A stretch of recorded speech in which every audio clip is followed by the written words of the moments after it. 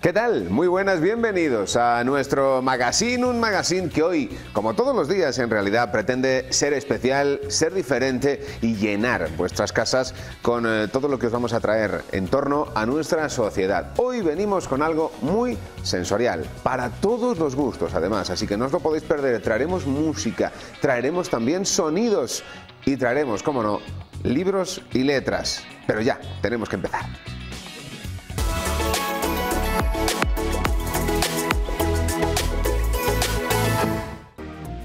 En Segocer Porcelanosa llega la liquidación más esperada del año. Descuentos increíbles en mamparas de baño y muebles de baño, todos de porcelanosa. Es tu oportunidad de conseguir productos de alta calidad con descuentos de hasta el 80%. No dejes pasar esta oportunidad única para renovar tu baño con estilo y elegancia. En Segocer Porcelanosa encontrarás una amplia variedad de diseños y acabados para que encuentres el baño de tus sueños. Aprovecha esta liquidación y dale a tu baño un toque de sofisticación con los productos de porcelanosa. Date prisa las unidades son limitadas y la demanda será alta. Visítanos en nuestras tiendas y descubre por qué porcelanosa es sinónimo de calidad y estilo. Segocer Porcelanosa, la liquidación que no puedes dejar pasar. Aprovecha estos descuentos únicos en la carretera de Coruña, El Espinar. Antes de meternos de lleno en todos los contenidos, sabéis que tenemos una parte pragmática que además es muy importante, que es, como siempre, lo que nos trae Segovia Empleo. Estas son las últimas ofertas de empleo en Segovia y provincia de www.segoviaempleo.com, el portal gratuito de empleo de la Fundación Caja Rural. Cancha 17 busca cocinero o cocinera con experiencia. Empresa de transporte necesita un conductor tráiler con carnet C, jornada de lunes a viernes, mire en casa. Transporte Carsan busca mensajero para reparto de paquetería en Cuellar. Palet Tama busca conductor de pala cargadora. Pecua Equipamiento Ganadero Sociedad Limitada busca una persona responsable para trabajar en un departamento de ingeniería especializado en el sector ganadero. Hotel busca personal de mantenimiento y aparcacoches. Instituto de Enseñanza Secundaria de Carbonero el Mayor en Segovia precisa cubrir un puesto de docente de cultura clásica. Soluciones Informáticas Globales busca para la ampliación de su departamento comercial la incorporación de asesores comerciales especializados en printing y con conocimientos avanzados en servicios y productos informáticos. Residencia de Ancianos precisa incorporar un fisioterapeuta media jornada para cubrir vacaciones del 20 de noviembre al 4 de diciembre. Se busca zapatero con conocimiento en copia de llaves y mandos para tienda de reparación de calzado en Segovia. Empresa de construcción de Segovia Capital precisa cubrir un puesto de oficial albañil especializado en colocar teja segoviana. Derivados Mallorcar busca comercial y carnicero con experiencia en deshuese de carne. Empresa de transporte necesita carretillero. Y recuerda, tanto si buscas trabajo como si quieres publicar una oferta, entra en Segovia Empleo, el portal de Caja Rural.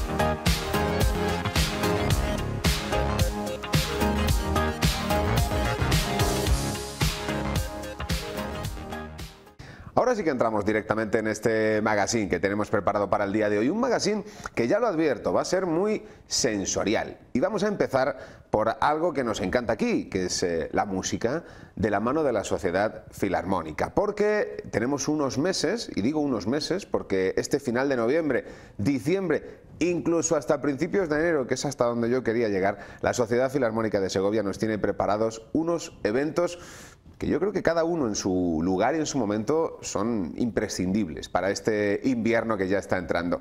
Carmen Gruber, presidenta de la Sociedad Filarmónica Segoviana, ¿qué tal? ¿Cómo está? Segoviana, no, Segovia. De Segovia. Eso, Sociedad Filarmónica de, de Segovia. Segovia. Es como se llaman las sociedades filarmónicas, siempre del sitio, sobre todo en el norte de España, y está todo, Galicia, Bilbao, todas son sociedades filarmónicas de Bilbao, Sociedad Filarmónica de Segovia. Pues la Sociedad Filarmónica de Segovia, que lleva muchos años eh, dedicándose a la promoción de la música y que, bueno, empezaron ustedes en septiembre con la programación, pero yo me quería ajustar a lo que tenemos en noviembre, porque de hecho hoy es 21, Claro, mañana, día 22. Mañana hay un concierto muy interesante. Exacto. además. Tenemos lo primero, que es, eh, bueno, los alumnos destacados De- del conservatorio de, aquí de la ciudad. Hicimos un, un convenio, un trato. Ellos tienen también eh, so- esto, entradas eh, colectivas. A precio ridículo, pero bueno, es el precio para que no asisten mucho, pero para que puedan asistir a conciertos de la Filarmónica, porque un concierto de la Filarmónica puede ser un- un- una clase magistral. Para un, va uno de piano, entonces pueden aprender a cómo pone este pianista maravilloso que tiene la técnica maravillosa, por ejemplo, pues el pedal y tal. El violín lo mismo. Eso sería interesantísimo, la asistencia en estos conciertos, como si fuera una clase magistral para los... bueno. Aparte, eh, entonces la Filarmónica cede una de las fechas que el Juan Bravo le concede, porque tenemos muy ajustado, porque Juan Bravo está muy ocupado, o sea, pero tenemos muy buena Buena conexión, buena sintonía. estupendamente, de siempre, desde que se fundó la Filarmónica, ¿eh? es el teatro al tiempo que la Filarmónica. Bueno, pues eh, cedemos esta fecha, que nos parece muy interesante, esta vez coincide con Santa Cecilia, además. Cierto, Exacto. patrón de patrona de la música, efectivamente. Y bueno, yo creo que es un concierto, siempre buscan lo mejor. Y además es muy interesante este concierto porque hay que aprender a tocar fuera del ámbito del conservatorio, que no es lo mismo actuar en esto que ir a una sala de conciertos con un público distinto, y en este caso público además muy acostumbrado a oír buena música. Yo no digo clásica, ¿eh? digo buena, que es diferente. ¿eh? Porque en la filarmónica no solamente se hace música clásica, el Sí, clásico puede sí, ser, sí. es una época de la música, se le da todo el gen- nombre genérico, pero no. Y en este caso, bueno, pues creo que es importantísimo esta actuación de estos futuros. Dentro de ellos algunos serán estupendísimos, llegarán a ser grandes artistas, o eso esperamos siempre, O eso esperamos por lo menos, ¿no? por lo menos, pero el primer paso puede ser eso, actuar en el teatro de la ciudad además. O Sí, sea, ahí, ahí las piernas tiemblan de una manera diferente, seguro, y hay que saber Esto también, es, diferente. eh, es diferente, es diferente, digo, por- porque yo de mi, mi época, yo no soy de Segovia, soy de Bilbao, de Santander. Sí. Es- no era lo mismo actuar en el conservatorio, era el número uno, pero cuando te iban, vamos a hacer un concierto a una sala eh, con otro público, es diferente. Completamente. Bueno, pues es una yo creo que es importantísimo este paso que damos con, lo- con el conservatorio, este convenio. Sí, muy interesante. Y luego, pues, generalmente son, además sorprenden, ¿eh? Son- yo, eh, siempre la gente va, "Ah, los alumnos, no, no, los alumnos no, son concertistas en el futuro. Eso, eso está muy bien también verlo, ¿no? Porque al alumno quizá se le pueda juzgar con una condescendencia, al concertista ya es otra cosa, y esa, esa tensión, esa sí. diferenciación es importante, Ay, es el eh, paso adelante, ¿no? Muy importante, sí, que olviden, que olviden que son estudiantes, no, es un futuro concertista. Pues eso, es la, la misión en este caso, en este convenio, que yo creo que fue, ha sido muy interesante, llevamos unos años y hemos oído cosas preciosas. Bueno, pues entonces mañana hay que estar preparados para sorprenderse con los alumnos del Yo espero que sí, yo espero que sí. Es El, suyo. programa es muy bonito, además, muy variado. Sí, sí, yo espero que sí, yo siempre espero eso y siempre resulta además. ¿Hay algo dentro de ese programa que, que nos diga, "Mm, a mí me, yo estoy deseando esta pieza o de- No sé, mira, este yo, espacio"? bueno, son, le he traído una copia. Bueno, es un programa precioso. Empieza por un guitarra, Ah, bueno. un guitarrista. eh, eh, después, bueno, mejor dicho, no, empieza ¿dónde está? Eh, con acordeón. Bueno, el acordeón eh, siem- siempre, nos sorprende el acordeón. ¿eh? Mm. Empieza con gui- he dicho guitarra, sí, empieza con guitarra, lo digo bien, porque es que es, es como son muchos, perdona, ¿eh? Sí, no te preocupes. Bueno, pero es así, es- sabéis cómo funciona esto. Empieza con guitarra, Sí. ¿Eh? Estamos Eh. viendo, mire, acordeón, flauta travesera, que lo tenemos eh, aquí. exactamente, está ahí todo. Cuarteto de cuerdas, dulzaina, Dulzaina y percusión. y percusión. Bueno, por ejemplo, pues en el, el final es todo tipo folk, folk Folclore, ¿eh? segoviano, castellano, sí. Entonces hay dulzainas, hay percusión, e incluso una ferreta travesa, muy interesante para el final. Son gente además en el conservatorio, como ahora tiene también clases de, de esto, pues sería muy bonito escuchar, que también es buena música. Y, Hombre, y viene, viene muy eh, ad hoc porque estamos celebrando un poco la efeméride de Agapito Marazuela, Hombre. tanto de su aniversario de nacimiento como de, como de fallecimiento, con lo cual, El día 20, exacto. te digo, yo he sido, y he dado muchas conferencias, he sido alumna y leído los discos y todo con Agapito Marazuela. Y luego le conocí cuando llegué a Segovia, ha sido uno de mis puntos clave. Incluso casi por él, casi, empecé a trabajar con la Filarmónica. Porque él me metió en una revista Ritmo, trabajaba, venía de, ya digo, me casé en Segovia y por eso estoy en Segovia. O sea, Agapito de alguna manera trajo a, a Carmen Gruber a Segovia, ¿no? No, yo le conocí, cuando llegó, llegué y me dijeron, ese es Agapito Marazuela. Y yo estaba, yo ya tenía carrera de piano y Sí. todas esas historias, bueno, todavía estaba. Le descubrí, eh, nos descubrimos, mejor dicho. Él en una confianza enorme, un respeto enorme a nivel de dos profesionales. Y yo le agradezco una cosa, bueno, he trabajado muchísimo con él, sí, a cantar, el cancionero, lo hemos trabajado todo, incluso eh, le ayudé en cosas de, de música para grabar disco y tal. Mucho, una, una confianza total. Pero lo que yo le he agradecido muchísimo a Capito Marazuela, y eso quiero que lo sepa, es que hablaba, cuando hablábamos de las canciones, esto es de tal pueblo, esto lo en tal sitio y tal, llegué a querer, yo que no soy de Segovia, llegué a querer todo a Segovia y sus pueblos, porque era, me lo explicaba de tal manera que entraba en, en el, en el fondo del tema. Resulta que en vez de decir, bueno, esto se te acaba en mi pueblo y me gusta mucho, no, no, no, yo he venido de fuera y he descubierto, gracias a Gapito Marazuela, las maravillas por- del pueblo del cancionero, he cogido cariño realmente. Hablo de los pueblos de Segovia que he conocido, pero ha sido por ahí. O Qué sea que. Agapito Marazuela es maravilloso. Así que me encanta que haya salido el tema porque es muy Sí, importante. bueno, claro, eh, guitarra, dulzaina, es decir, ahí hay reminiscencias de, de, Claro. Agapito Marazuela en este concierto. yo te- te- eh, seguí la carrera de guitarra, yo tenía de piano superior, entonces tenía me- eh, con él en Madrid la guitarra, o sea que pues he trabajado muchísimo. Me ha encantado porque ha salido el tema. Es Bueno. que son las fechas, son las fechas. Y él hablaba de la Filarmónica y se sentía muy orgulloso de haber sido socio de la Filarmónica, aparte de haber tocado sus conciertos ahí, no, pero como socio. Pues no quiero, Ahora yo, no quiero yo dejarme en el tintero, porque esto es mañana, 22 de noviembre, Mm. Sí, sí, sí. pero no quiero yo dejarme en el tintero que el 29 de noviembre tenemos Ah. otro concierto, en este caso piano, con Marta Tejero. Muy buena. La Filarmónica, bueno, es económicamente es muy ajustada. Se- Sabéis que la Filarmónica exactamente solo se, se nutre, vamos a decir así, de las cuotas de los socios. Lo que es una, eh, mirándolo bien es una maravilla. El socio se paga su concierto, lo paga a principio de año como un abono, tal de año, y a partir de ahí decimos, tanto dinero, tanto podemos buscar. Ajustando muchísimo, a veces mm, me da muchísima vergüenza personal, pues lo hago yo, el, el regatear a los músicos. Eso me parece durísimo, pero Ah, Hay que hacerlo, en este caso. sí, ya, pero, pero no. Es difícil. Y saber que son gente que viene. Pero así todo, sí, conseguimos. Hay un, un convenio, un- nos entendemos y conseguimos traer cosas muy interesantes. Y, este- y tenemos un convenio con dos concursos internacionales de piano y el ganador, parte del premio, es un concierto en la sede filarmónica y la- es en, esta- en Segovia. Otro, ese mismo ganador tiene otro concierto en Zaragoza, en el auditorio, o sea, en grandes en España y en, de- en la filarmónica y tal. Y Marta Tejero es ganadora del concurso, este, es uno de ellos.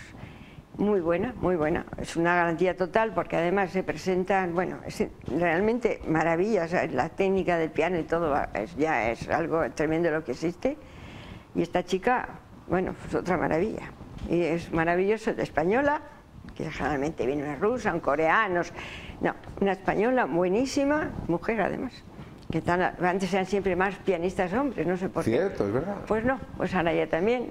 O sea que es una manera. Y estamos con mucha expectativa de este concierto. Bueno, como siempre, son eh, resultados estupendos y está asequible a nuestro. Bueno, y es parte de la, funda- de la, de lo que colabora la Sociedad Filarmónica en estos conciertos.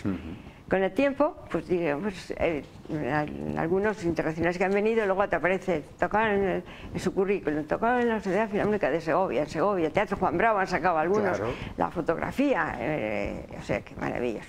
Así que ese convenio tenemos, y por eso tenemos pianistas buenísimos, porque lo bueno de un, un ganador de un concurso de estos es que se presentan con unas obras dificilísimas preparadas para un concurso, cosa que ya un pianista muy consagrado ya, cuidado, ya se limita más. Ya tocó en sus tiempos y ahora ya... Mm, hay más riesgo. claro, estos arriesgan porque van a un concurso a ganar.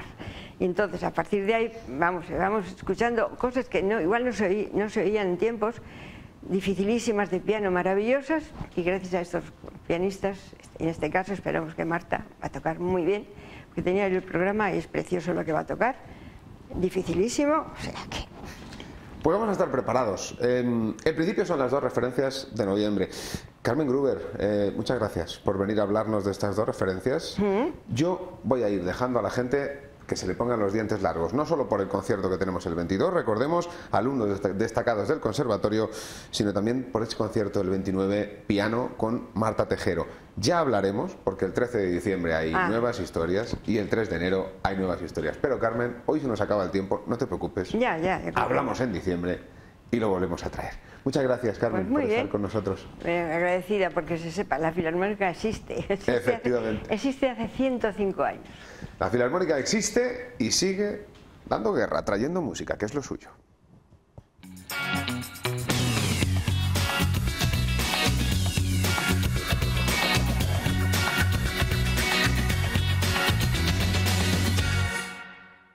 Les hemos prometido hoy un programa muy sensorial y los libros. Los libros, ¿qué sentido no nos despiertan de verdad? Pues yo creo que lo despiertan absolutamente todos. Y vamos a tratar los libros hoy de dos maneras bien diferentes. Empezamos por una, quizá la más distinta de todas, que es cómo el libro puede ayudar a salvar vidas. Y esto lo vamos a aprender de la mano de una ONG que está ya desde hace tiempo inserta en Segovia y que se llama AIDA Books and More. Vamos a aprender un poco más sobre ella. Echa un vistazo a tu biblioteca, selecciona los mejores ejemplares, esos que tanto disfrutaste y que ya no tienen quien los lea, esas películas que te hicieron reír y llorar, vinilos que te hicieron bailar. Tráelos a tu tienda Ida Books más cercana y transfórmalos en proyectos que salvan vidas como apoyar el Centro de Menores con Diversidad Funcional en Guinea-Bissau, ayudar a niñas para evitar el matrimonio infantil en la casa de acogida Rosalí Rendú, en Bangladesh, a seguir trasladando menores de Guinea-Bissau con cardiopatías congénitas para que sean operados en Europa, poder financiar la educación de menores en un campo informal de refugiados en Líbano,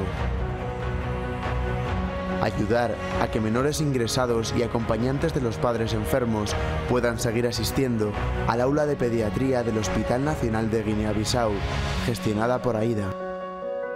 Después de donar, recuerda ojear alguno de nuestros libros y de comprar los que más te gusten, para que el ciclo pueda continuar. Trabajamos cada día con ilusión para sonreír al ver el mundo cambiar ante nuestros ojos. Poquito a poquito, grano a grano. Somos Aida Books and More.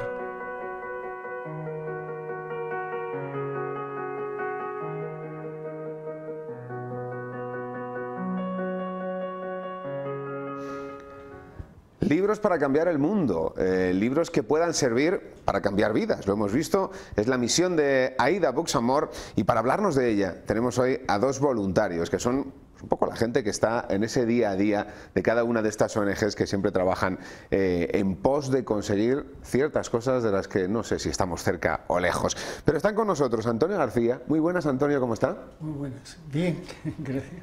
Y tenemos también a Goyo Barriuso. Hola Goyo, buenos días. Buenos días, encantado. ¿Qué tal? ¿Cómo están? Bueno, estamos diciendo buenos días. Buenas noches en realidad. Eh, buenas noches en realidad. Eh, Antonio Goyo, Aida Buxamor Ustedes son voluntarios de este trabajo que consiste, entiendo, en recoger esos libros que en casa a lo mejor ya tenemos usados, que, bueno, que están en buen estado y que podemos volver a darles otra vida. Y a través de dar otra vida a esos libros, estamos dando otras vidas a nivel general. Eh, Antonio, eh, es un poco el trabajo ¿no? que hace esta ONG. Efectivamente. AIDA nace aquí justamente en Segovia en 1999 y desde entonces pues eh, hemos salvado aproximadamente casi 400 niños con cardiopatía que han podido venir a, a Europa a a, operarse y a seguir viviendo, porque de no haber sido así hubiesen muerto a los 10 años como mucho. Es decir, que hemos dado una vida a todos los niños que han venido a, operarse a Europa. Es, un dato mm, abrumador, como a través de los libros se puede conseguir un dato semejante, ¿no? Digo yo, eh, Aida Books More tiene ahora abierta una campaña especial para Navidad eh, con la cual podemos ayudar también los segovianos en todo esto y contribuir, ¿verdad? Sí, eh, busca Aida en distintas ocasiones eh, promocionar la idea esta fundamental de que los libros ya usados pueden tener una segunda vida y dar vidas, ¿verdad? Conseguir eh, prolongar o mejorar la vida de, muchas personas en muchos sitios eh, apartados y no tan apartados del mundo. Y concretamente ahora, cercano a la Navidad, se pone en marcha otra campaña que consiste un poco en favorecer la posibilidad de adquirir libros que están en nuestro no se preocupe, no se preocupe por los papeles que se recuperan enseguida. Están en, en, nuestras librerías para ofrecer la posibilidad de realizar regalos a través de la adquisición de unos vales de 5 euros o de 10 euros. Esos son los vales, ¿verdad? Son los vales. Vale regalo. Entonces, ¿cuál es el proceso?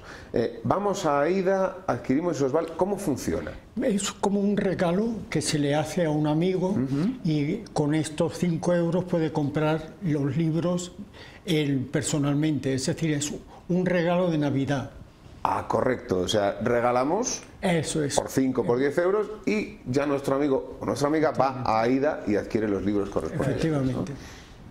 Es, el funcionamiento hasta el montante de la cantidad que, es cada, cada vale y que lógicamente el, valor adquisitivo de las personas eh, puede acomodarse muy bien a las circunstancias de las librerías porque los precios que tenemos en los libros eh, son bajos, muy bajos, precisamente para fomentar la posibilidad de que las personas no tengan inconvenientes eh, económicos en adquirir libros. Por lo tanto, es una posibilidad. Estas fiestas de la Navidad que parece que el corazón se abre un poquito más, aprovechar la circunstancia para beneficiarse, digamos, de alguna manera de esta oportunidad de los varios regalos de, la ONG AIDA y al mismo tiempo facilitar la ayuda que con ese dinero se junta con otras eh, actividades que realiza la ONG AIDA para que AIDA, eh, AIDA y, sus, librerías, AIDA Books and More, eh, puedan contribuir a realizar muchos proyectos que están en marcha en distintos países del mundo y que lógicamente es eh, gracias a la confianza y a la generosidad de muchas personas. En Segovia concretamente, como dice Antonio, eh, satisfechos porque hay una respuesta importante y siempre hay que recordar porque crees que todo el mundo se ha enterado y luego ves que a lo mejor no están así, por eso los medios son un factor importantísimo en nuestra, en nuestra labor. ¿no? Y entonces, pues, es un poco la, función de hoy aquí, aprovechar la generosidad y la sensibilidad de los medios para trasladar a las personas de, la ciudad, en este caso de, de Segovia, de las distintas eh, provincias y ciudades donde están las librerías, 14 en este momento, ¿eh? para eh, colaborar con estas necesidades importantes que existen en personas, mujeres, colectivos más desprotegidos, lógicamente, niños, eh, refugiados, son colectivos a los que sin querer te tienes que referir y donde van principalmente las ayudas y los esfuerzos de, la ONG. ¿no? Son 24 años, como decía Antonio, de, esta ONG, 20 años, eh, poco más, eh, la de creación de las, ah, de las librerías y ese complemento de las librerías con tantos proyectos que los técnicos de, de AIDA sacan adelante facilita poder realizar nuestra labor de continuidad, asentada en territorios donde busques la colaboración también de las agendas eh, municipales o nacionales que existen, para que haya consistencia, haya un poco de implicación, haya colaboración del entorno donde vas y no que sea una parte extraña que da un picotazo y se marcha sin tejer un pozo. hay una implicación social. Eh, yo tengo que decir que, he ido a, a, Ida a buscar libros en, en varias ocasiones y los he terminado encontrando, porque es que además hay libros de todo tipo, hay libros más técnicos, hay libros de novela, hay libros de todo tipo, y están muy bien, la librería de Segovia están muy bien eh, expuestos, muy bien seleccionados. Pero yo tengo una pregunta, Antonio, por ejemplo, eh, ¿usted por qué es voluntario de AIDA? ¿Qué es lo que le llamó la atención? Bueno, dos, dos cuestiones. Una es que me gusta la lectura y comprendo que darle una segunda vida a los libros eh, es importante y una segunda, pues que es una ONG que eh, no solamente salva vidas, sino que tiene, eh, em, coopera en, en, África, en Asia, es decir, que tiene unos proyectos muy interesantes, muy interesantes, y como hemos podido ver en el vídeo, y, eso es lo que más me anima, claro, porque mm, que hayamos salvado vidas de, casi 400 niños que han podido ser operados, que en África no podían operarse, y que mm, eso tiene un seguimiento de, llevarlo, de traerlo a los niños, mm, eso la verdad es que emociona. Pues vamos a hacer este llamamiento, ¿no? Eh, al final son vales estos días estamos comprando un montón de participaciones de lotería, 5 o 6 euros, ¿no? Eh, ¿Por qué no comprar una participación eh, en, una vida, en lo que puede ser una vida nueva, por 5 o 10 euros? Eh, yo creo que es fantástico, ¿no? Poder hacerlo. Esto, hoy lo tenemos desde ya, ¿verdad? Y lo podemos hacer directamente en la librería de, Aida. Recuérdanos exactamente dónde está la librería de Aida para la gente que no la conozca, que yo creo que más o menos lo sabemos. Está en, la librería está en la calle San Francisco que es bien céntrica, eh, la boca, la calle San Francisco, como sabemos, cae eh, directamente en, la plaza de Azoguejo, en el acueducto, y 23, y allí eh, hay una instalación que funciona todos los días laborables, incluido el sábado, de 11 a, a 2 de la mañana y de 5 a 8 por la tarde, menos el sábado que es solamente por la mañana. Es por lo tanto de fácil acceso ¿eh? y un tránsito muy frecuentado, con lo cual, por eso decía antes, pensamos que mucha gente está enterada, pero nunca está de más el insistir, porque aún hay gente que va, y luego hay gente que también se acerca pensando que es pues una librería al uso o una librería de viejo, ¿eh? que se dice. No es así, ¿eh? es una ONG que cuida con mimo, eh, como otros librerías también lo hacen, claro, las donaciones de libros las clasifica, las cataloga y las pone a la venta a precios de amigo, muy asequibles y con ofertas importantes, pensando siempre que también hay que proteger un poco la dignidad del libro en sí, ¿eh? que tiene un valor, que es importante, que es un más que un reciclaje, es una reutilización, una segunda vida de un elemento que es, eh, ha sido y es eh, muy importante para las personas, el leer, el refugiarse en un libro, el aprender, el conocer otros territorios, el viajar a través de los libros. Bueno, pues todo eso que lo hace uno con gusto en su rincón, en su sillón, da la posibilidad de llegar a tantos sitios y rincones a favorecer y ayudar y salvar las vidas, en muchos casos, de personas con necesidades importantes. Pues Antonio Goyo, un placer eh, haberos tenido por aquí para que nos mostraseis en, carne y libro lo que hace AIDA, el trabajo de AIDA. Muchas gracias Muchas por gracias. estar con, nosotros aquí. Sigo haciendo ese llamamiento. Son vales de entre 5 y 10 euros y es muy fácil conseguirlos. De lo que no nos vamos a despedir, de ellos sí, pero de los libros no, porque seguimos todavía aquí en este magazine hablando de libros.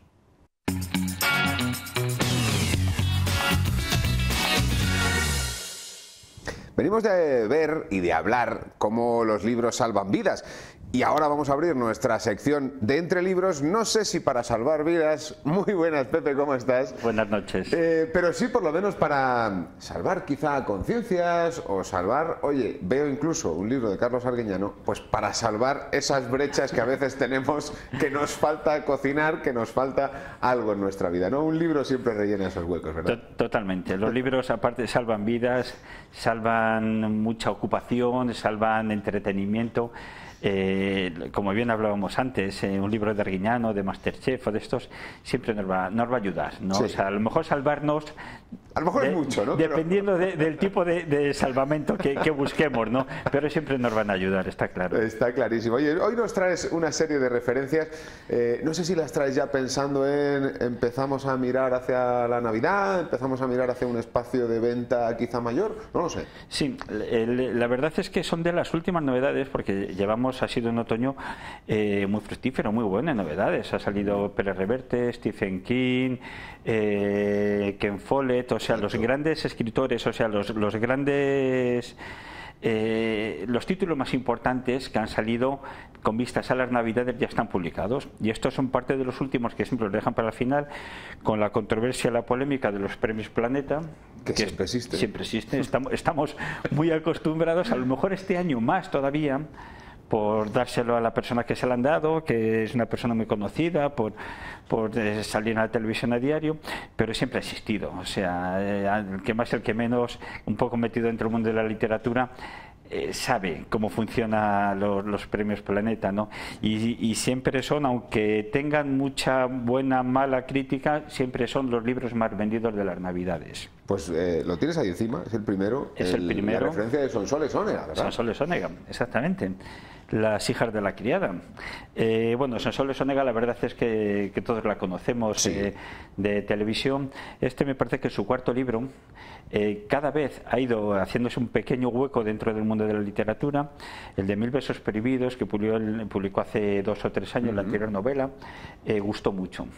Y yo creo que, que este ya es como el gran salto eh, de los resultados, es el premio más importante, el premio Planeta, quitando lo que se lleva haciendo es un millón de euros, ni más ni menos, no ¿eh? está mal. Yo a no mí sé, a mí no me vendría nada mal, pero claro, un millón de euros por el premio Planeta es, está, pues eso, como el libro más importante económicamente hablando. Y luego, claro, la polémica pues siempre va a estar ahí yo aconsejo realmente, eh, aparte de, todos, leer críticas y, ver que si nos lo aconsejan, si y tal, que lo leamos. Es la única manera de saber eh, de poder tú tener tu, mm, tu, criterio, tu visión. O sea, yo voy a leer una novela y por mucho que me digan, yo ahora estoy en la librería y me han dicho dos o tres personas que fantástico, que cómo se han enganchado. Otras dos o tres que habían oído que les había dicho a la vecina que vaya rollo del libro, que infumable. Entonces, lo mejor es tener, coger, leerlo tú y tener tu propio criterio para saber y valorar. Y dices, oye, pues mira, esto no lo entiendo como le han dado el premio Planeta, lo puedo entender debido al marketing o merece la pena. Merece la pena, oye, merece la pena. Hay veces que a mí me pasó con un libro de Boris Izaguirre. A mí Boris nunca me ha entrado. O sea, nunca es de estas personas que nunca tal. Y me dijeron dos o tres amigos clientes, léete este libro de Boris. Era el tercero o cuarto que sacó. Y dijo, ¿eh? qué bueno. O sea, cómo me gustó. No recuerdo cómo se titulaba, pero escribió muy bien escrito, muy bien ambientado, con mucho sentimiento. Y dices, fíjate, o sea, que no es solo el, criterio desde fuera, ¿no? que hasta que no lo coges y no lo empiezas a leer y lo terminas y dices, oye, mira, qué bien o qué mal hay que conocer. Efectivamente, y Boris Izaguirre sorprende. Sorprende, ¿eh? sorprende mucho como, como, escritor, es un tipo muy inteligente. Vamos a ver qué tal son Sonega. Yo tengo que decirte que no he leído nada de ella, pero que, oye, este libro, pues vamos a ver, ¿no? ¿Qué queda de sí? Yo, yo leí el anterior, únicamente Mil besos prohibidos, que era la historia de un sacerdote que deja un poco lo que es la, el sacerdocio porque se enamora. Entonces, claro, es, hay una mezcla de sentimientos, de emociones, y me gustó. Me, me pareció muy entretenido y bien escrito, para nada aburrido y me enganchó. En este hay que darle una oportunidad. Hay que dársela. Y si, si Planeta se la ha dado, pues habrá que darse. Exactamente. ¿Eh? Tienes ahí la sangre del la Sangre del Tiene pinta de épico. Sí, y lo es, lo es. Es sobre la vida de, Alejandro Magno. Ah, es el finalista del Planeta. Eh, pues igual, también. O sea, este también ha nacido con cierta polémica por ser el quien es también, porque es familiar de Torcuato Luca de Tena, o también fundador del ABC, es uno de los que dirige también las jóvenes, las juventudes del PP, o sea, que es una persona medianamente conocida en ciertos ámbitos. Y, la gente que le ha, eh, a mí me han hablado dos otras personas tanto de él como de los otros libros que ha escrito que son enseños históricos y debe escribir muy bien también. O sea, hay que darle otra oportunidad, dejarte envolver por la vida de Alejandro Magno, las aventuras. Eh, es un thriller histórico, un thriller que hay piratas, hay asesinatos, hay. Pues eso, lo que es la vida de la época, la intentar conquistar a través de Alejandro Magno las tierras que les habían conquistado, lucha contra los persas, sube, baja, pues una novela. Si está muy bien ambientada, que seguro que, lo ha hecho, yo creo que va a disfrutar mucho, sobre todo los lectores van a disfrutar de novela histórica. Mm. No es un tipo precisamente, o no era un tipo precisamente contemplativo, Alejandro Magno, así que seguro, que en su vida nos trae avatares divertidos. Totalmente. Tienes dos referencias más. Y que otra viene también de, Roma, en este caso, también es histórico. También, es histórico. Este es el último ah, libro de Posteguillo. Mm. Este sí que es el, español. En cualquier momento le darán el planeta. Eh, eh, pues yo creo que sí, ¿no? Estaremos a un año o dos. Después, antes o después. Esta, esta es la segunda entrega de la vida de Julio César el, primero gustó mucho, se supone que van a ser seis entregas de unas mil páginas cada uno, o sea no está mal, es un poco Ken Follett, Posteguillo en este caso. ambientado todos en la antigua Roma. Eh, y bueno, aquí Julio César es la historia de cuando él quiere, eh, ya se ve con posibilidades de ser el gran César, ¿no? que luego fue, y decide contactar con Apolonio, que Apolonio es como una persona que eh, tiene como todas las artes, sobre todo las artes de la dialéctica, de aprender a hablar, de aprender a comunicar, ¿no? Y hace un viaje también muy arriesgado él con un compañero, con, con, un, con una especie del secretario de Julio César, para aprender todas esas artes y luego ya dar el salto al Senado y pues un poco en la línea, como hablamos antes de Alejandro Magno, aventuras, eh, ficción, pero todo con una recreación basada en la vida de Julio César, porque lo que, una de las características que tiene Posteguillo es que se lo ocurra mucho. sí, eso es verdad, eso es cierto. Se lo, la ambientación, la ambientación, la investigación, la historia, o sea, cuando te está hablando de un broche que se coloca que tiene tal forma, es que ese broche ha existido, o la eh, cualquier cosa, lo que comen, lo mm. que tal, el vocabulario que utilizan, ¿no? o sea, no tiene un solo error que se le pueda pillar un poco, o sea, la verdad es que, que ha conseguido enganchar muchísima gente a, la antigua Roma y a la novela histórica. La verdad es que la antigua Roma, el antiguo Egipto, digamos que son eh, mundos del pasado que recurrentemente vuelven a nosotros y que, y que oye, funcionan muy bien en la literatura, ¿verdad? Y la Edad Media. La Edad Media es una maravilla, o sea, la Edad Media siempre que la ves dices, ¿cómo me gustaría vivir en esa época? Aunque se debía vivir de pena, ¿no? Se vivía muy mal y muy poco, pero tú lo lees, lees en Los Pilares de la Tierra o Gonzalo Giner o tal, estos, y dices, ¡joder, qué, qué, qué, vida más, qué historia más, más buena y más aventurera! maldita Roma, de Maldita Santiago Posteguillo. Maldita Roma, ¿Eh? la leyenda continúa. Esto siempre funciona, la leyenda continúa siempre funciona. Y si va a continuar más, pues ya sabéis, es el nexo, ¿no? El, el libro nexo. Y me traes al amigo Carlos Arguiñano. Yo tengo que decirte que a mí me resulta tan, tan eh, simpático Arguiñano que, es imposible que algo que firme o que sea de él no me acerque por lo menos a ella. Fíjate. Es simpaticísimo. La verdad es que los calificativos que le pongamos se quedan cortos. Eh, este es su Cocina de 10, se titula así porque es el décimo libro que publica con la editorial Planeta y además han sido consecutivos. Cada Navidad, o sea, llevamos 10 Navidades seguidas siendo uno de los libros más vendidos de las Navidades. Oye, lo que dure, esto es así. O sea, parece mentira, pero es, graciosísimo ver cómo sí, pues todas estas novedades o los grandes títulos eh, están vivos y Carlos Jañano se agota. Siempre agota todo, es tremendo, es tremendo, es, es alucinante. Y este Cocina 10 es una selección de las mejores recetas del programa, las más sencillitas, las más utilizadas y en las que él cree que, que puede dar, pues eso, como el 10, el 100% de su, de su sabiduría.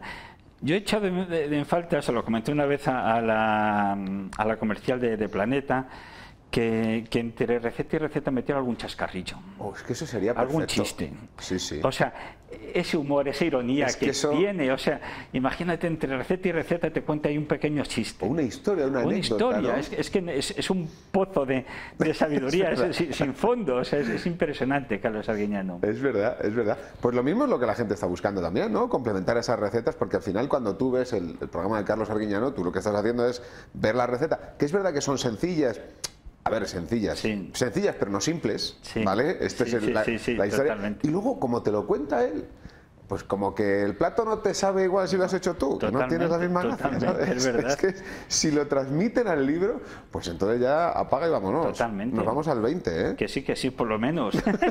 la verdad es que, que de Navidades en Navidades estamos esperando a que llegue, pues eso, a principios de noviembre para recibir a, Carlos Arguiñano. Mm, fíjate que el otro día em, leía una entrevista con él que decía que él prefería eh, estar considerado como una especie de estrella de la televisión que recibir una estrella Michelin, que a mm. él le interesaba más un poco estar eh, con la gente que eh, estar de alguna manera para la gente o por encima de la gente, ¿no? Sí, lo, que es la divulgación de la cocina más sencilla para todo el mundo, ¿no?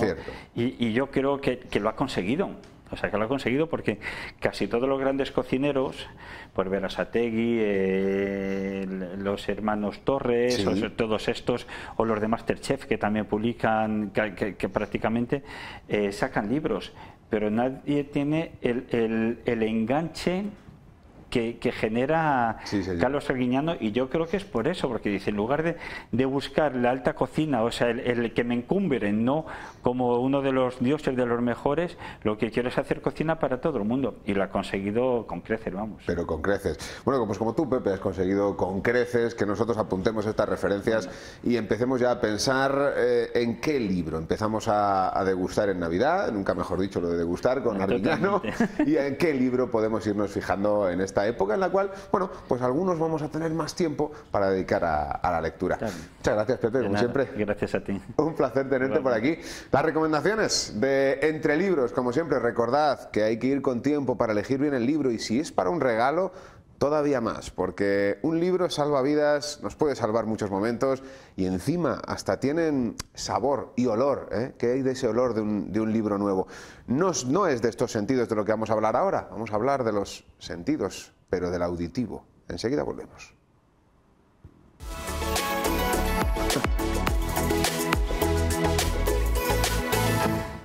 ¿Eres agricultor y necesitas un taller de confianza para tu maquinaria agrícola? En Euromaster La Unión somos especialistas en todo tipo de neumáticos agrícolas, de pequeño y de gran tamaño. Y lo más importante, contamos con un servicio de urgencias 24 horas. Nuestro equipo de expertos estará allí cuando más lo necesites, brindándote soluciones rápidas y eficientes. No dejes que una avería detenga tu producción. Contacta con Euromaster La Unión y disfruta de nuestra asistencia especializada.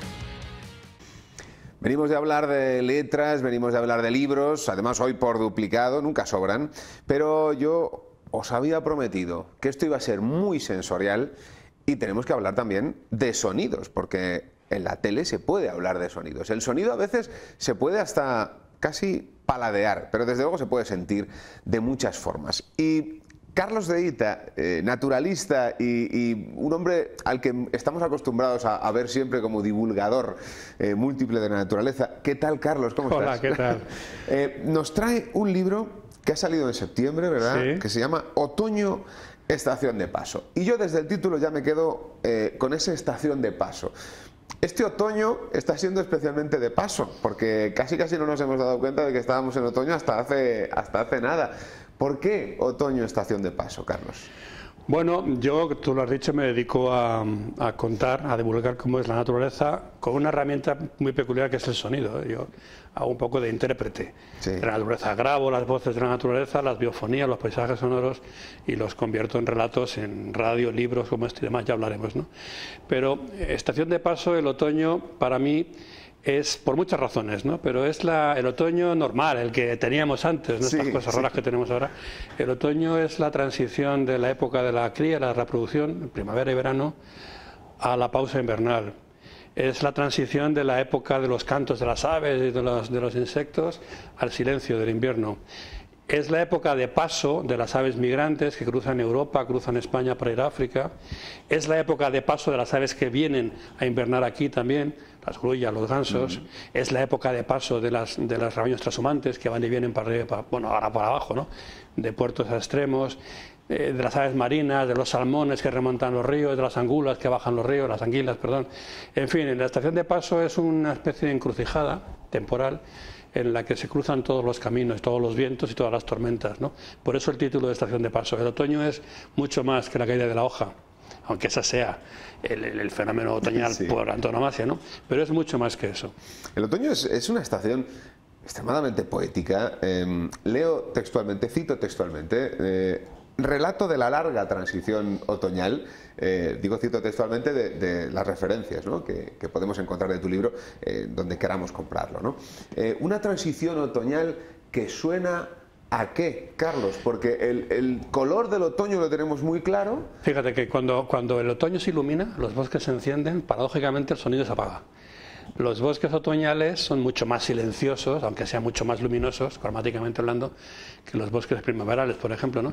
Pero bueno, en este libro lo cuento, ¿no? esa secuencia eh, larga de, que empieza, en realidad empieza en verano, empieza a finales de, septiembre, con las tormentas en las montañas y con la berrea de los ciervos, que es como si fueran las, las campanadas, ¿no? los aldabonazos que dan comienzo al otoño, pero te decía, pasan las grullas, pasan los gansos, eh, suenan las primeras nevadas, la, nevada cuando todo se mueve y no suena casi nada, ¿no? Porque son unos sutiles crujidos de, de, los copos de nieve, suenan las hojas arremolinadas en los, eh, por el viento. Yo vivo en la granja, entonces imagínate. Ahí, ahí suena el otoño. Allí suena el otoño bastante, ¿no? en Balsaín suena bastante, ¿no? De manera que, bueno, en otoño suenan los testarazos de las cabras montesas que están ahora, andan a cabezazos por las montañas. Suenan muchas cosas, hasta que al final del otoño, cuando ya, ya es invierno prácticamente, el, el otoño, el final, suena a los búhos reales y los linces ibéricos en celo que es como un anticipo de la primavera muy lejana, pero la primavera por venir. ¿no? Es decir, esa estación de paso la puedes seguir de oídas, paso a paso, casi como las hojas de un calendario que van cayendo, los sonidos van cayendo y te van contando cómo es esa transición, siempre desordenada, porque el otoño es una estación convulsa y lamentablemente cada vez más imprevisible. Bueno, eso nos está pasando con, todas las estaciones. Pero es verdad que los tiempos de la naturaleza son muchas veces más lentos que, los nuestros, ¿no? Siempre corriendo de un lado para otro. Y a veces nos falta ese tiempo y ese pozo para sentir la naturaleza. Y eh, nos has mandado unos ciertos audios eh, que yo quisiera meter en plato. Vamos, a pedirle, a ver, Paqui, ponnos, suéltanos un audio.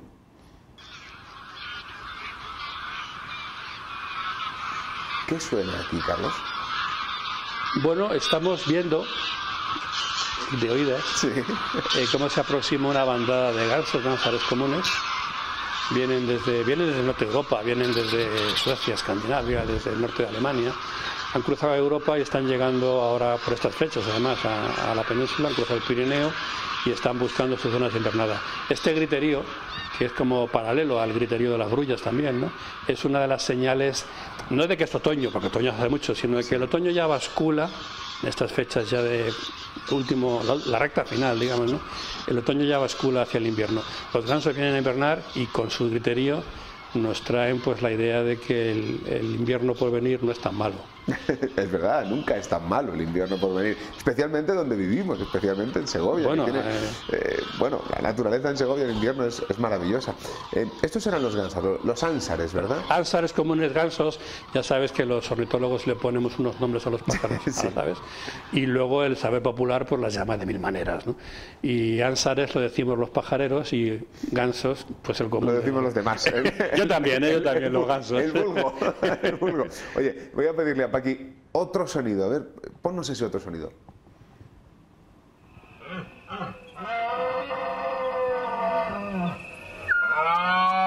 Yo creo que este Carlos, más o menos los castellanos sí que lo reconocemos. ¿eh? Este es, eh, lo decía hace un rato, este es el sonido que da comienzo al otoño. Es como si fueran las campanadas del otoño. es la berrea de los ciervos. Los ciervos entran en celo en, con la primera lluvia, la primera hierba en septiembre, primero de septiembre, se meten en octubre y este sonido que es tan potente, tan rotundo, tan contundente, es quizá el sonido de naturaleza de naturaleza salvaje más conocido por, por, la mayoría de la gente, ¿no? porque todos hemos oído hablar de la berrea, de los ciervos. Para mí además la berrea es, un, es algo muy especial porque yo cuando empecé a grabar sonido hace ya bastantes años, aquí en Segovia por cierto, eh, lo primero que grabé fue de casualidad esto, para mí de un ciervo, ¿no? la berrea de un ciervo. Y yo que nunca había pensado dedicarme a grabar sonido, desde ese momento, hace 37 años, no he hecho otra cosa. De manera que para mí la berrea de los ciervos es mi ritual de otoño. Los ciervos, su ritual es entrar en celo y ponerse a berrear, y mi ritual es ir a grabarles. De manera que este libro prácticamente empieza después de una tormenta, bueno, después de unas reflexiones en la granja, en los jardines. Después de una tormenta en el Pirineo empieza con la berrea de los ciervos, que es el, ya digo, es el, la señal de partida. ¿Corren eh, riesgo estos eh, sonidos otoñales también, igual que corre riesgo la naturaleza por lo que todos sabemos, por el cambio climático y toda la eh, acción mm. del hombre? Fíjate, el paisaje sonoro, la componente sonora del paisaje no es más que el relato de lo que sucede en la naturaleza. Mm.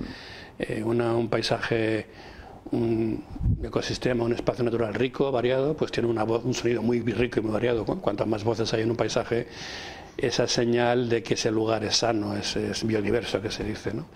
Por la misma razón, el empobrecimiento del paisaje sonoro es el rato de la crisis ambiental. Y sí, los tiempos están cambiando, eh, todas las estaciones están alteradas, los ritmos se han modificado. Mira, oíamos unos miles de gansos que venían para abajo ¿no? y de grullas. Este año, este otoño del 2023, grullas y gansos han retrasado su llegada a España. Han venido, pero no masivamente como hace otros años. ¿no? ¿Por qué? Porque hace un calor casi, casi de final del verano. En estos días había cientos de miles de grullas volando por Europa para arriba y para abajo sin saber dónde iban. Cuando lleguen aquí, ¿qué se van a encontrar los gansos silvestres? En Doñana, un espacio seco. ¿A qué va a sonar Doñana? A silencio. Claro que el sonido nos cuenta lo que sucede, nos cuenta la crisis. Has mencionado las grullas. Eh, vamos a reivindicar a las grullas, vamos a escuchar. Hombre, la grulla es mi animal totémico. es que, son, maravillosas, pero vamos a escucharlo, porque esto es... Que suba, que suba el volumen. Ahí las tienes, ¿eh? Las, Bandito que está entrando, sí. Son muy discretas, más discretas que los gansos. Bueno, porque pocas. Dales tiempo. Si veis en ese sonograma que aparece en pantalla, esa mancha más oscura es como, esa es la imagen del sonido, es como poco a poco se van sumando, sumando, de una pasamos a 10, a 100 y a varios miles. Y muchos, varios miles de grullas hacen mucho ruido.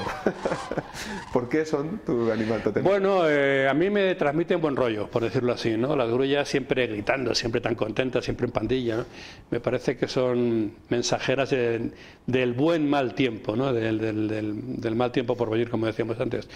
Si te gusta el sonido de la naturaleza, no puedes evitar eh, escuchar las grullas. Por tanto, para mí la grulla reúne muchas cosas, ¿no? Pero, de hecho, mi logotipo es una grulla reflejada en el agua, ¿no? En un noche de luna, un reflejo. El sonido es un reflejo, en definitiva. De manera que sí, para mí la grulla es como el animal que a mí me transmite buenas sensaciones. Eh, si uno se compra otoño, eh, estación de paso, no debería volver a pasear eh, por los montes de Balsaín, por ejemplo, de la misma manera, ¿verdad? Tendría que pasear de otra forma. Yo en estos libros, he hecho ya varios, estos libros que suenan, ¿no? Patrones de códigos QR, siempre transmito una idea. Y bueno, siempre que hablo y me dais oportunidad, ¿no? El ir de oídas por la vida tiene una virtud, y es que va despacio.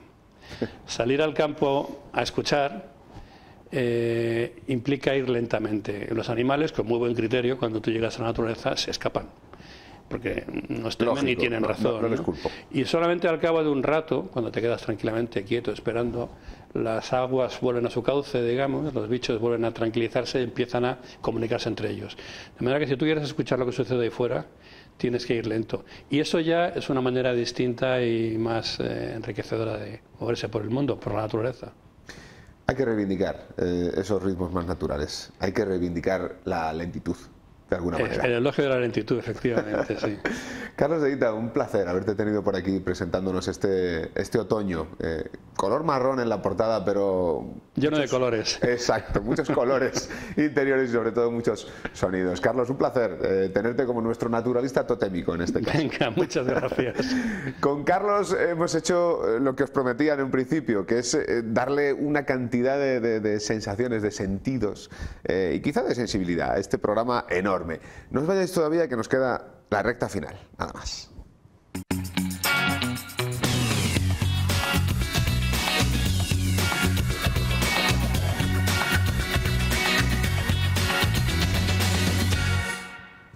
No podemos olvidar en este programa que mm, la semana pasada se entregaban los premios Vivaces, unos premios que están llamados a mm, precisamente divulgar lo que pasa y lo que ocurre en la España vaciada. Y nosotros nos vamos a centrar en Sandra, una persona que ha llevado sus conocimientos médicos a donde más falta hacían.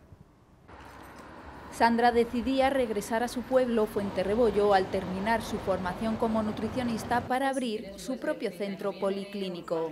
En Fuenterrebollo, pues porque es mi, mi pueblo y es también una zona en la que es una zona de Segovia que los municipios están un poco más alejados, que hay menos población y al final es una zona en la que esa necesidad que detectamos de que faltaba ese trabajo multidisciplinar se cumplía.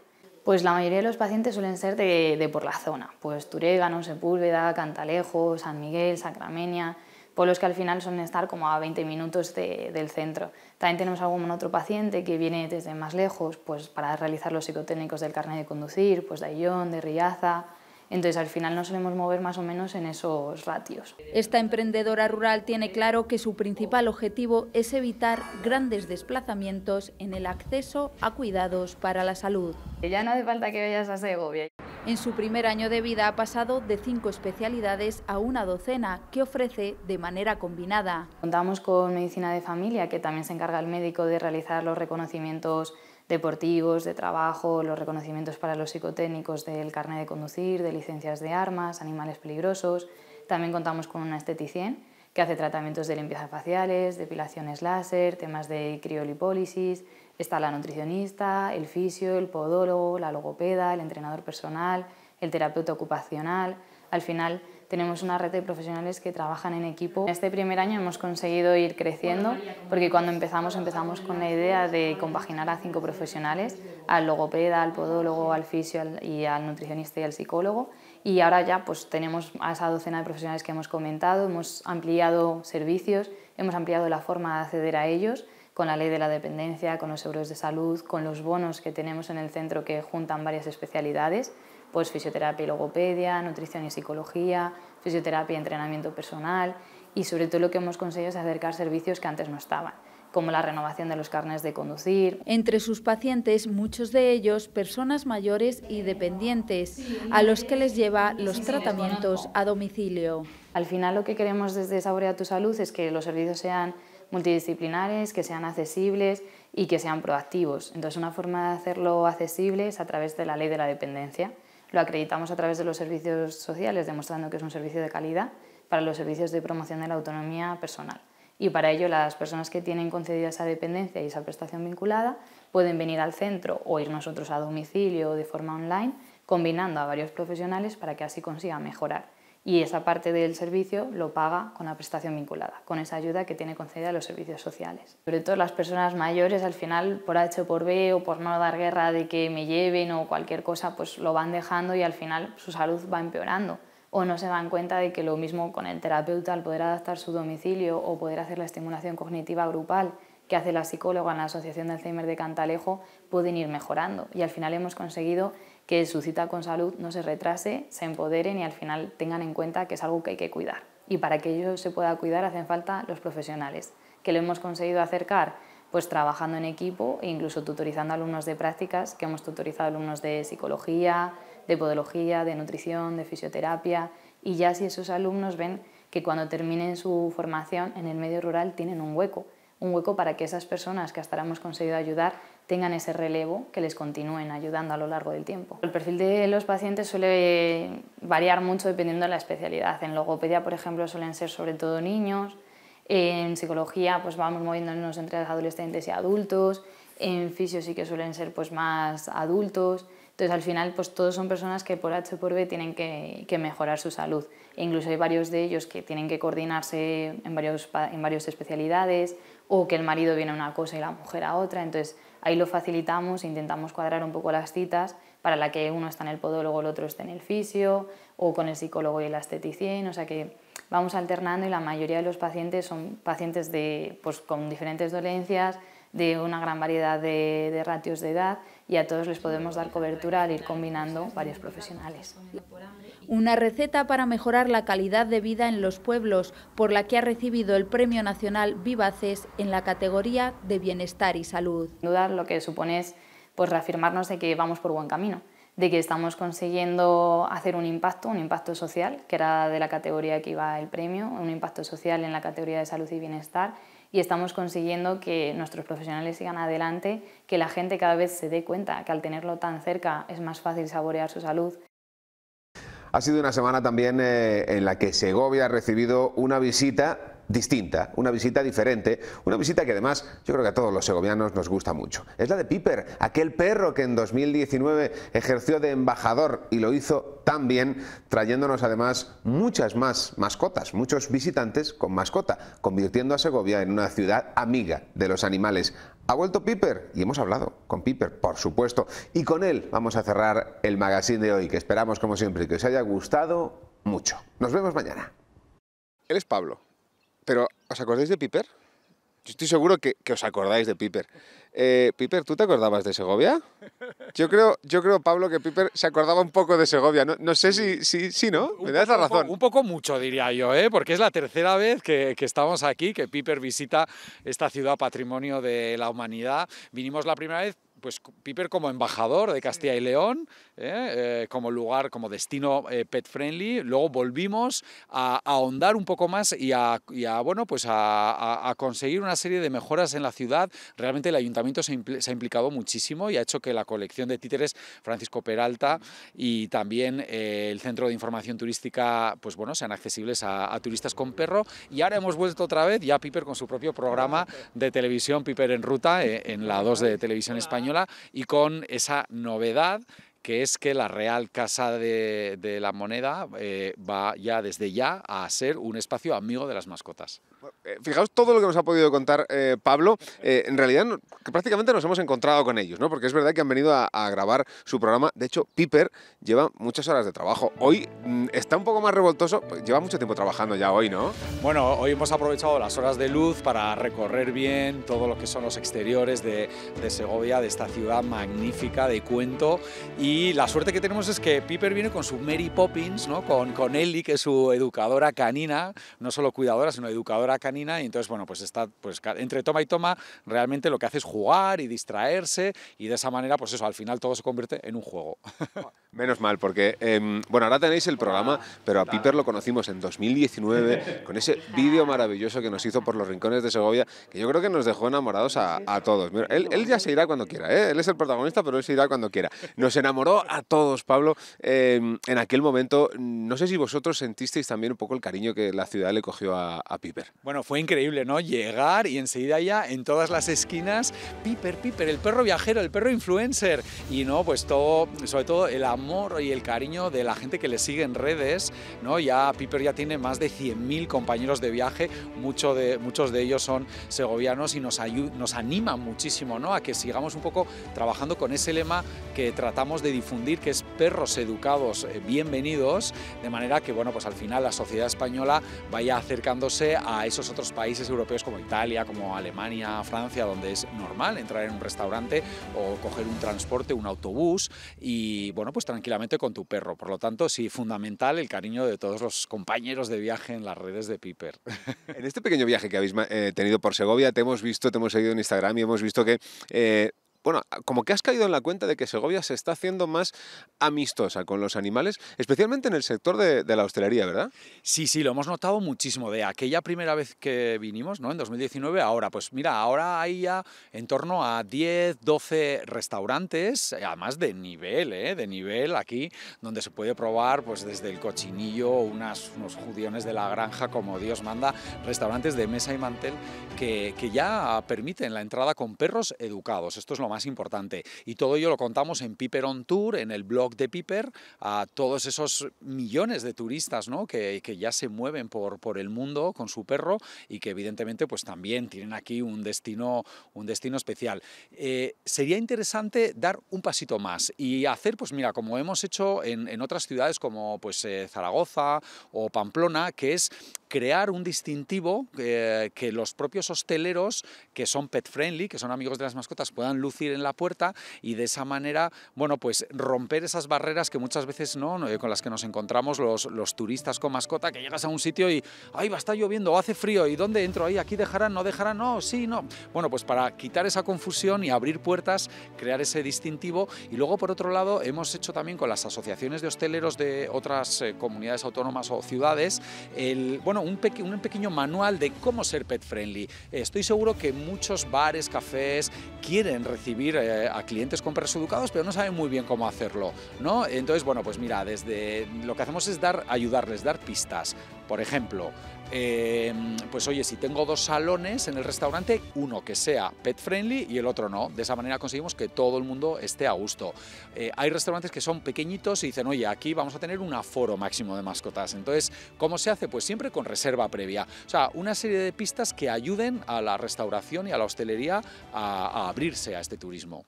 Al final, vuestro trabajo es un trabajo social también. Mira, Piper, se me ha venido aquí a, la espalda. Eh, es, un trabajo social también decir, mira, mira, ahí está, ¿eh? ¿Cómo, se, nota, ¿Cómo se nota quién manda aquí? Eh, cuéntanos lo que puedas, que imagino que estáis todavía en rodaje, en grabación y tal, y lo que nos puedas contar de lo que va a ser eh, el programa de Piper, eh, eh, que, se va a emitir reciente, bueno, en breve, ¿no? Sí, sí, bueno, a partir de enero se estrena en televisión española en la 2 la segunda temporada de este periplo televisivo de Piper y en Segovia vamos a vivir una aventura, él y yo, sí, sí, porque bueno, yo soy, hago un personaje un poco como muy planificador, de una persona como muy, me gusta siempre tenerlo todo muy medido y de hecho, bueno, todas las personas que nos estén viendo y que tengan perro lo entenderán, ¿no? Porque para moverte con perro al final tienes que tener muy claro a qué alojamientos ir previamente, a qué restaurantes, en fin, tenerlo todo muy clarito. Y Piper, pues es, pues bueno, pues tiene un carácter mucho más, pues como son los perros, ¿no? De improvisar, de, de lanzarse a la aventura. Entonces, bueno, pues ese choque lo vamos a tener aquí en Segovia y va a ser súper, súper divertido. Vamos a visitar diferentes emplazamientos eh, como es esta, esta, esta colección ¿no? de, de Peralta, de los títeres de, de Peralta. Vamos a estar recorriendo las calles, vamos a ir a hacer un deporte acuático a las hoces del Duratón. Me encanta, o sea, la piragua la, habéis, conocido, ¿no? Sí, sí, exacto, exacto, y además es que se nos da muy bien, y a Piper le encanta, le encanta estar ahí oliendo todo, ¿no? Esos, eh, a los pájaros y, en fin, toda la fauna que, que hay en estos parques naturales, que es impresionante. Oye, Piper no ha cambiado nada, aparentemente, desde que nos visitó la primera vez allá por 2019, pero, pero se nos habrá hecho mayor, ¿no? Piper, ¿cuánto tiempo tiene ya, Piper? Sí, bueno, yo tengo algún pelo menos, si es que me queda alguno, y Piper efectivamente es como un eterno joven, ¿no? Tiene ya, pero tiene ya siete años y medio, sí, sí, ya va para arriba. Dicen que los perros tienen por cada año humano, no, por cada siete años humanos es un año de ellos, o sea que ya está, nos estamos igualando ya en edad. bueno, a él no se le nota nada, Pablo, la verdad. Eh, sigue con la misma vitalidad y sigue siendo, pues eso, encantador. A nosotros nos encanta también que hayáis venido aquí, eh, que que podamos hablar con vosotros en este, en este museo justo además a la hora del atardecer. Y yo creo que va siendo hora, Pablo, de que nada, que te lleves a Piper. Yo creo que le puedes invitar a cenar en, uno de esos establecimientos pet friendly. Creo que tiene hambre, ¿eh? Sí, ya está reclamando su ración. y eso que hoy le le hemos, dado unas cuantas chuches de las que le gustan. Pero sí, nos vamos a ir a descansar, que mañana también tenemos otro día más de rodaje y bueno, eh, terminar esta semana aquí en Segovia pues a tope. Pues Pablo, un placer, muchas gracias por estar con nosotros y Piper, eh, nada, te vemos pronto. ¿Vale? Ahora no me dice nada. Os vemos prontito por aquí. Muchas gracias, Sergio. Muchas gracias por vuestra ayuda.